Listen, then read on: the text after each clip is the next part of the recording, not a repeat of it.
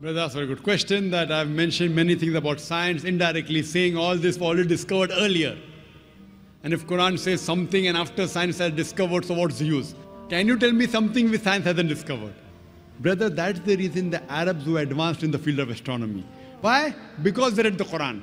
The Quran has a lot of information on astronomy. So when they read the Quran, they try and do more investigation. They do more research. And that's how they come to know. Quran is a telegraphic message. See, the book of science only on one subject. In medicine, one subject only requires volumes. So if that way the Quran is, this Quran, most of the human beings, they don't like to read. Oh, such a big book. So if God Almighty wrote in detail, then even a big building, you will require thousands of buildings to contain the message of the Quran. Quran is telegraphic message. So in telegraphic message, many of the Muslims, they read the Quran and they made advances in science. That's the reason we find, if you go back into history, the Muslims advanced in science and technology. But you pose the question, forget about the past. What about today? All what I've mentioned has been discovered earlier, but many of them were discovered by Muslims, some by non-Muslims, some by Europeans. What about things which science hasn't discovered? Fine. First, I'll tell you those things which science hasn't established, but yet there are high chances, which Quran has testified, and I believe in it. For example, Quran says in Surah Shura, chapter number 42, verse number 29, that it's Allah subhanahu wa ta'ala who has created the creatures in the heavens and the earth and has placed creatures in them. So Quran says there is life besides this earth. Today science hasn't proved there is life besides this earth. Scientists say there are high possibilities that life will be there beside this earth. Quran says there's life beside this earth. I believe in it. Science may discover it tomorrow, after five years, after 10 years, after 100 years. Quran says, I believe in it. Today, there are many hypotheses how the world will end. It says that the sun will become big and the world will end. The mountains will fall down. The mountains will become smooth. The ocean will swell up the world will enter into a black hole. Many hypotheses. Many of these hypotheses, not all, they match with the Quran.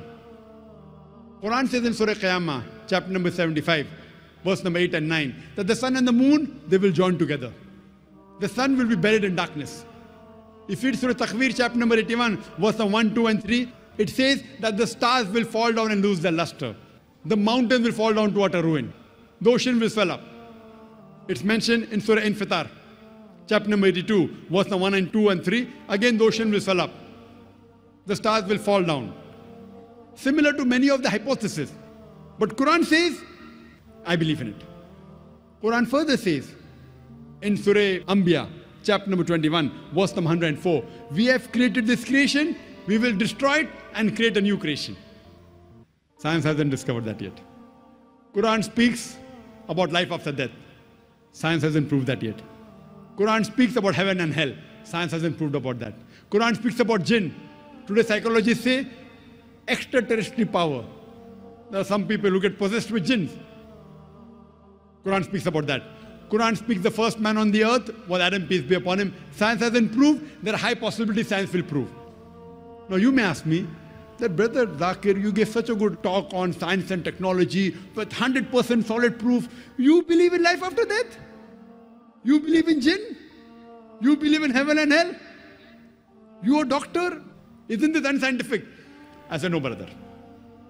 I believe that it is scientific. Suppose whatever the Quran has mentioned, 80% has proved to be 100% correct.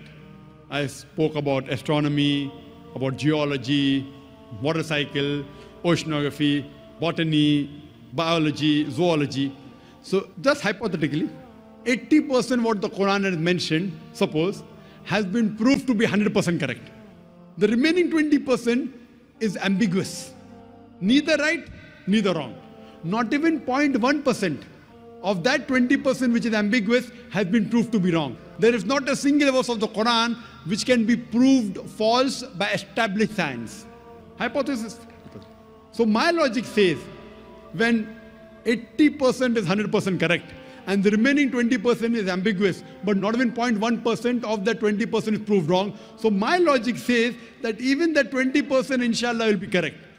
If not today, tomorrow, after 50 years, after 100 years, after 1000 years, Allah alam, God knows, they will prove their life after death. They will prove there is jinn. They will prove there is hell. There is proof there is heaven and so on and so forth.